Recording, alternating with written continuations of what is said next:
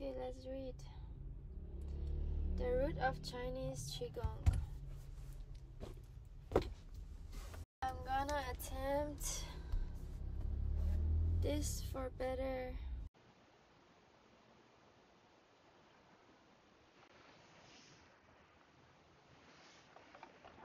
We're going to the wrong book. Okay, here we go. Qi. Since we have already discussed Qi at the beginning of this chapter in general terms, we will now discuss Qi in the human body and in Qigong training. Before we start, we would like to point out one important thing. At this time, there is no clear explanation of the relationship between all of the circulatory system and the Qi circulatory system. The Western world knows of the blood system, nerv nervous system, and lymph lymphatic system. Now there is the qi circulation system from China. How, for example, the qi and the nervous system related? If the nervous system does not match the qi system, where does the sensing energy in the nervous system come from? How is the lymphatic system related to the qi system? All of these questions are still waiting for study by modern scientific methods and technology. Here we can only offer you some theoretical assumptions based on the research conducted up to now. Chinese Medical Society believes that qi and blood are closely related.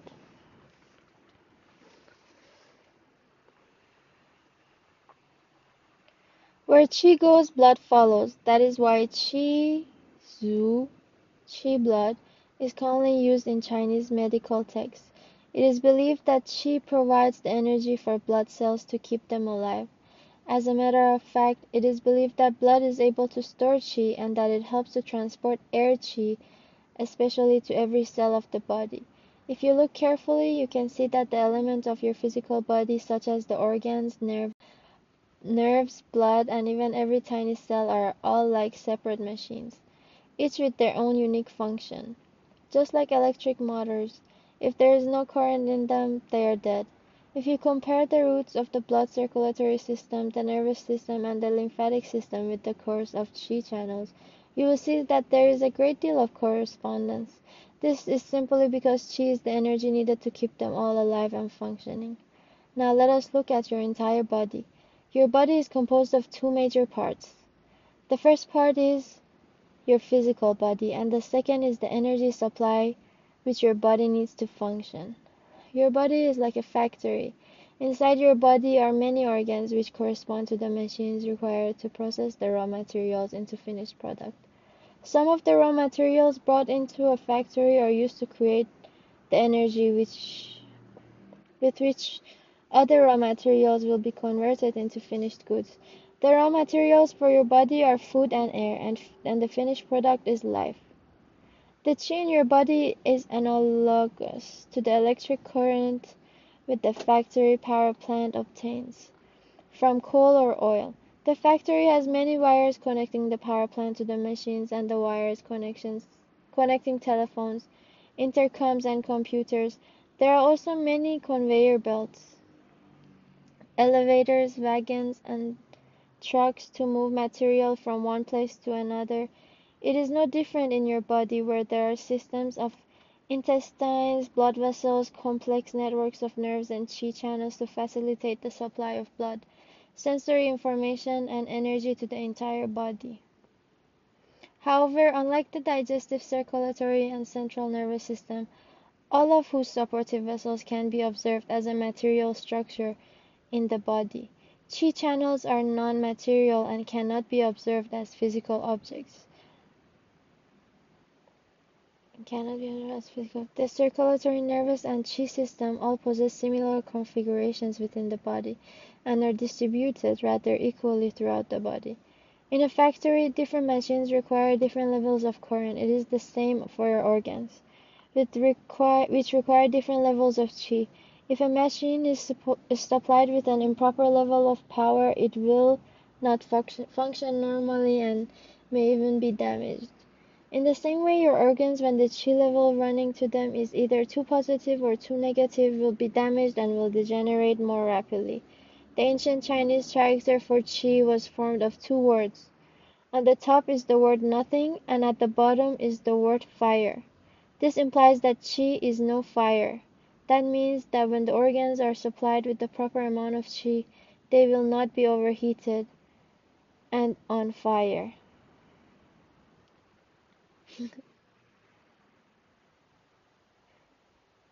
The Chinese for qi was formed of two words, nothing, and at the bottom is the word fire.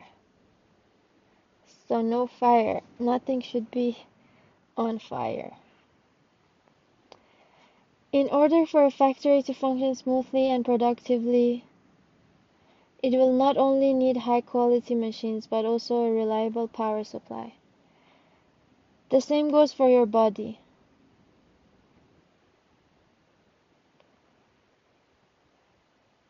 The quality of your organs is largely dependent upon what you inherited from your parents.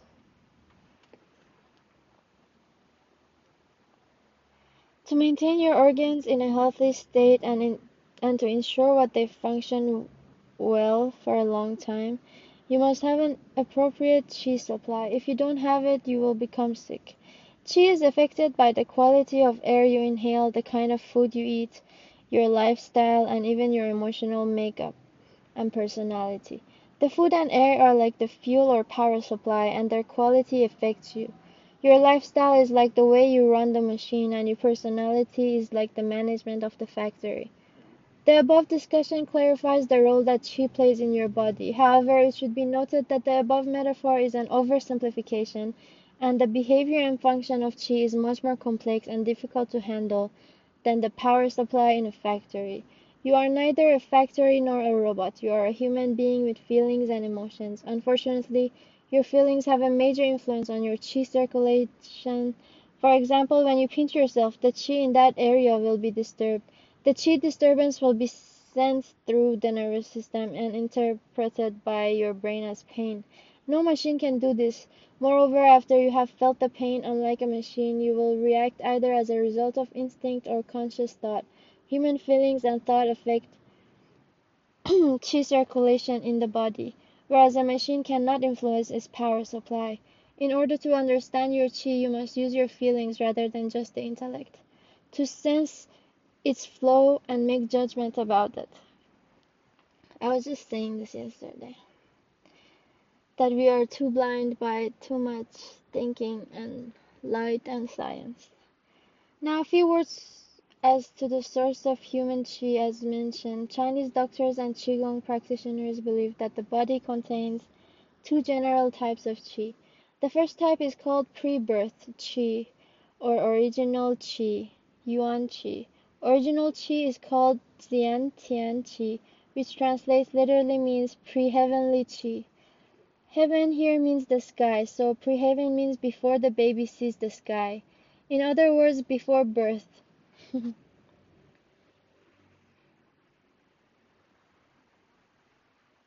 Original Qi comes from converted original Jing, which you received before your birth. This is why original Qi is also called pre-birth Qi. The second type is called post-birth Qi. Hou Tian Qi, which means post-heaven Qi. This Qi is drawn from the Jing essence of the food and air we take in. As mentioned, the residence of the post-birth qi is the middle dantian, solar plexus. This qi then circulates down and mixes with the pre-birth or dantian qi. Together they circulate down, passing into the governing vessel dumai, from where they are disturbed to the entire body, distributed to the entire body. Pre-birth qi is commonly called water qi, shui qi, because it is able to cool down the post-birth qi, which is called fire qi, huo qi. Fire qi usually brings the body to a positive yang state, which stimulates the emotions and scatters and confuses the mind.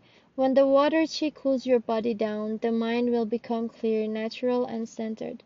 It is believed in Qigong society that fire qi supports the emotional part of the body, while water qi supports the wisdom part. After the fire chi and water chi mix, this chi will not only circulate to the governing vessel but will also supply the thrusting vessel Chong Mai which will lead the chi directly up through the spinal cord to nourish the brain and energize the shen and soul.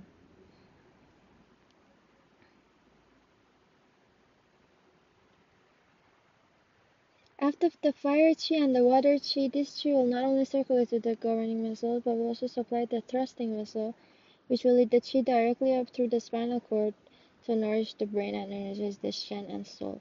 As will be discussed later, energizing the brain and rising the shen are very important in Qigong practice. According to its function, Qi can be divided into two major categories. The first is called Ying Qi, managing Qi, because it manages or controls the functioning of the body. This includes the functioning of the brain and the organs, and even body movement. Ying Qi is again divided into two major types. The first type circulates in the channels and is responsible for the functioning of the organs. The circulation of Qi to, or, to the organs the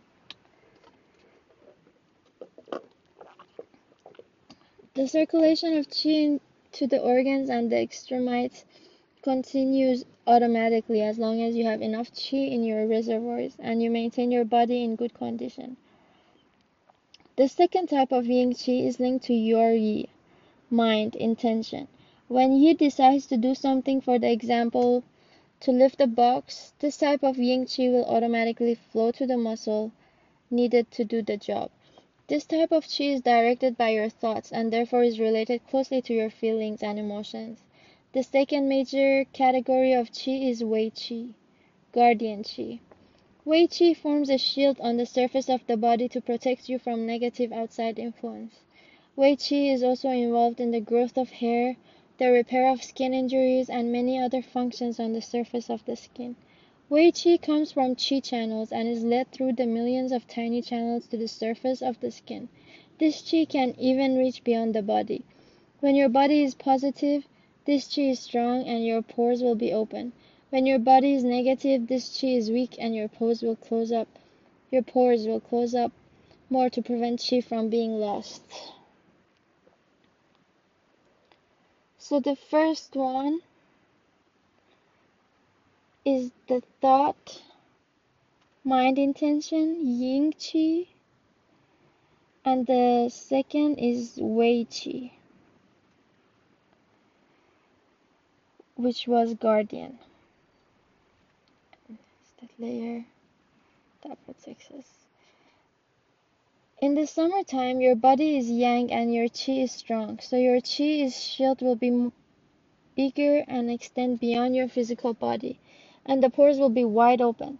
In the winter time, your body is relatively yin, negative, and you must conserve your qi in order to stay warm and keep pathogens out.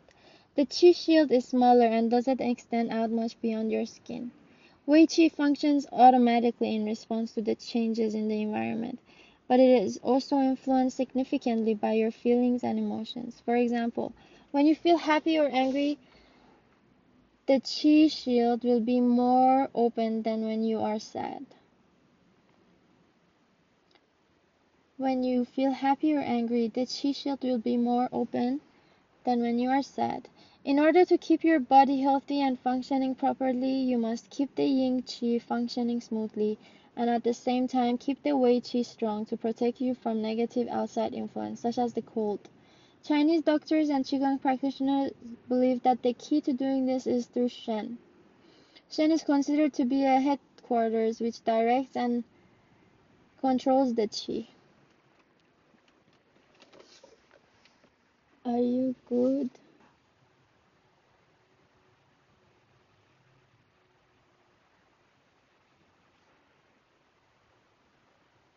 Shen is considered to be the headquarters which directs and controls the Qi.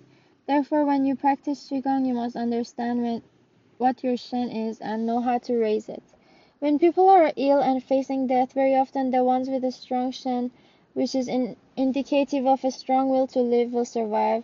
The people who are apathetic or depressed will generally not last long. A strong will to live raises the Shen, which energizes the body's Qi and keeps you alive and healthy. In order to raise your Shen, you must first nourish your brain with Qi. This Qi energizes the brain so that you can concentrate more effect effectively. Your mind will then be steady, your will strong, and your Shen raised. Shen will be more thoroughly discussed in a later section. There is another way to categorize the body's Qi fire chi and water chi, As we discussed previously, the chi generated from the food and air you take in the warms in warms the body. And so it is called fire chi, And this chi is associated with emotions. The second type of chi is called water chi.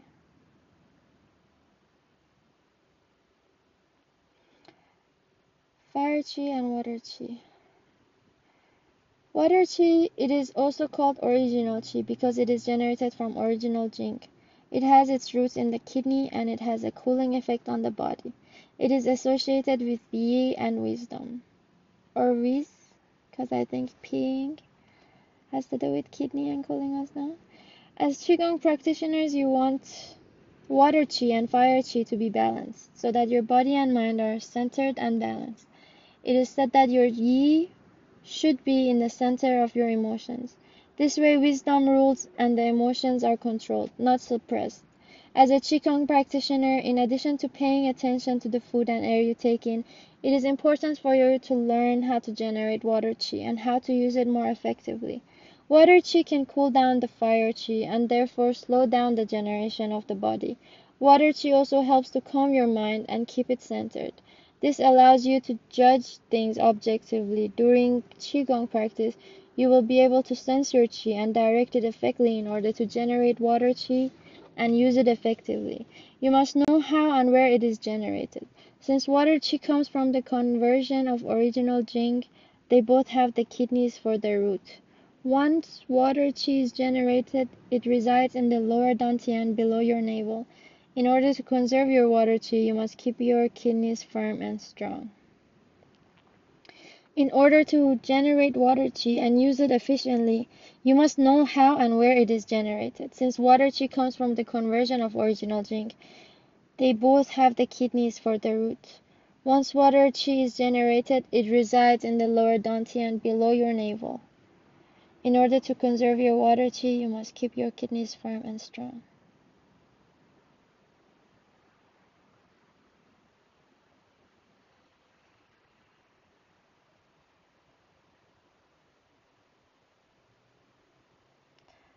Food and air are fire Qi, and water is the water Qi. I like that. I like that. And that was Qi. Q I Qi. Next we have Shen. Stay tuned. Sunshine, my only sunshine. You make me happy when skies are gray. How much I love you, my sunshine always.